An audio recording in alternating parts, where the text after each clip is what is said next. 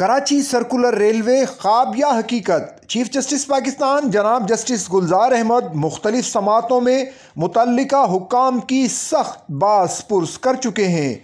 मनसूबे की तकमील के लिए डेड लाइन भी दी जा चुकी है। लेकिन कराची में एक दफ़ा फिर सर्कुलर ट्रेनें दौड़ाने का ख्वाब ख्वाब ही है।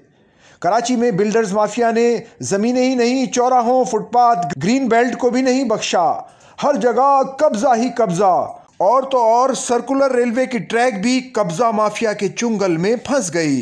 एक ज़माने में जिस ट्रैक पर कभी सर्कुलर ट्रेनें दौड़ती थीं, वहाँ अब तामीरात हो चुकी हैं। बस्तियाँ आबाद हैं। सर्कुलर रेलवे की ट्रैक पर कब्जे में, जहाँ कब्जा माफिया के हाथ दीगर महकमों ने मज़बूत किए हैं, वहीं अपने ही गिराते हैं नशेमंद पे बिजलियाँ के मुस्ताक। खुद Pakistan railway cooperative housing society भी शामिल है। रेलवे मुलाजमीन के मफादात के लिए काम करने वाली ये सोसाइटी खुद इस धंधे में मुलविस है।